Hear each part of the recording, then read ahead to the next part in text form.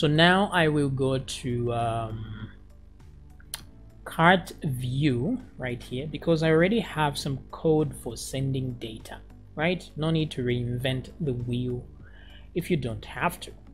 Yes. Mm -hmm. So this is the send data and the handle is out. Okay, so pretty good. So what I want now is to get from here, delete item, all this up to there. And let me come to uh, check out the view itself. So I'll put this, this stuff here. So I'll say script, there we go. Paste now I have two script tags here, so I'll remove one. And let's push everything back in there. Okay, good. Now we don't want to delete an item, so what I want is to get states like so. And then I will have the ID in there. Then there's ID. Okay, so get states. This is the um, wait a minute what's going on here uh, send data type. Okay that's fine. Now we don't really need the data type here because we're just reading one thing here. So but it's better to be future proof because in case we do send the data type in future we can put an if statement here and get different kinds of data from the same controller. So just um, it's better to just add it there. So get states, send data. So we're sending the data, but we're sending it to Ajax checkout. Mm -hmm. So we are sending the data type and also we are sending the data itself. Okay, so data type is right there and one more thing there. Okay, so which means we receive two things. So let me come back here to Ajax and that will be data underscore type comma like that. Okay so data type and the id okay so i want to see what result i will get. So let me come back to the checkout view here make sure everything is cool. And so this part here where type is equal to uh, get states.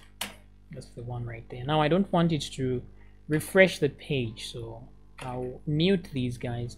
In fact I don't need this one for now. Just need that. And the console.log is fine because I want to see what's in the console. I think for now we are good to go. That's all we needed to change. Now get states should be activated from an event. So when I click on this, I select a country, it should actually try and find the state corresponding to that country. But first of all, I need to actually load the countries here. Now, we don't need JavaScript for that. So what I will do is go to the Ajax checkout and get this the way it is like that.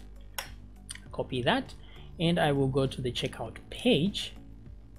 Now that's the checkout controller. Where are you? There we go. So right here after I add the rows of the so I actually don't need all this because on the checkout we are actually not showing the items yeah so wait a minute wait a minute. User data. Okay. Yeah. So all this is not required actually from products. Unless you're going to display the products there. So I'll leave it for now. Let me just um, do this. Let's add some comment here and say uh, get countries. The reason we're getting the countries because we need to display them. So now data is being used here, so what I will do is do that and say countries.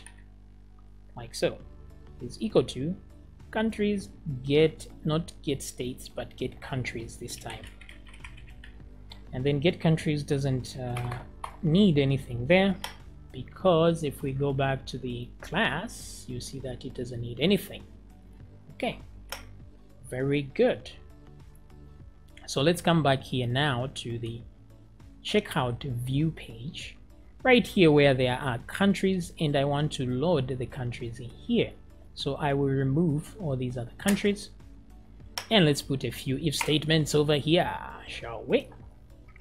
So PHP if is set, yes, countries, if that is set,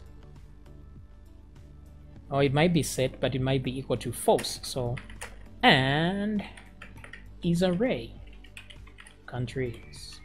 So just to be sure. But of course we need the dollar sign. Mm. So if that is true, then let's do an, a loop, shall we? Oops. Let's do a loop.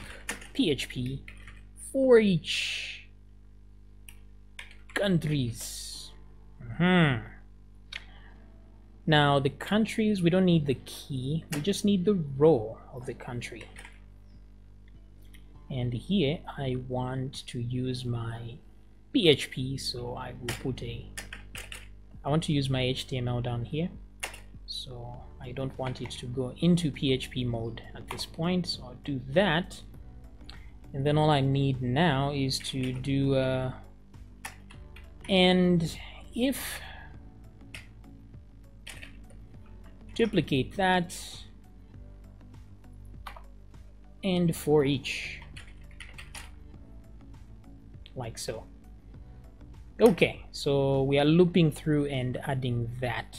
So maybe you want to see this a bit more clearly. Like that so that's one option but we want to add more options here. So here we'll have row. I want the ID here to be the value. So value row ID. Now, what the user will see is not the ID of the country, but the actual country name, row, country. And yet what will be sent as the value is the ID, like that. So let's refresh our page and see if we get Ooh. Undefined variable db online 10. You don't say. So let's go to the class online 10. db is unknown and that's because we are using a small letter db version. So let's change that there as well. Refresh. Call to undefined method read. Ooh. Where is that? Alright, so whenever this kind of thing happens, we know that there is... Uh, that read actually exists, so... So instead of get instance, let's use a new instance instead. New instance. The other instance is tired, apparently. So refresh. There we go. It's working but doesn't seem to have loaded entirely. So this is probably because there's an error somewhere right here on country. So I will inspect the element just to be sure. Let's go inside the select country. So nothing there, yes, nothing. Hmm. But it seems to have stopped right there. So it seems that's where the problem is. So let's go back a moment here in the view let's try to figure this out. So none of this actually worked. So what I want to do is right before the select right here.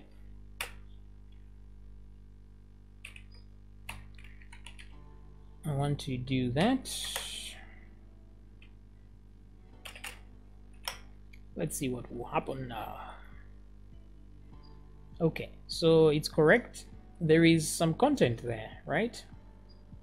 country, South Africa, Zambia. Okay, so this is a class and not an array. So that's where the problem is. Keep forgetting, keep forgetting. Okay, so if is set countries and is objects. Actually, I don't even need to check that. I can just do that. That should be enough. And let's put arrows instead. Pointy, pointy things. Let's come back here again and do the same thing. Let's put a pointy thingy like that. That should do it. Refresh. Okay, so it seems uh, the code is happy. Click, and there we go. Looky there. Hmm. Very nice.